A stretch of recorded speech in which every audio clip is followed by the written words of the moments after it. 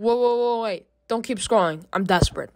If comment something right now, because this video is going to be set private on December 31st, 2022, and set public on December 31st, 2023. So if you want to comment something, I'd say do it now so you can make your mark in history.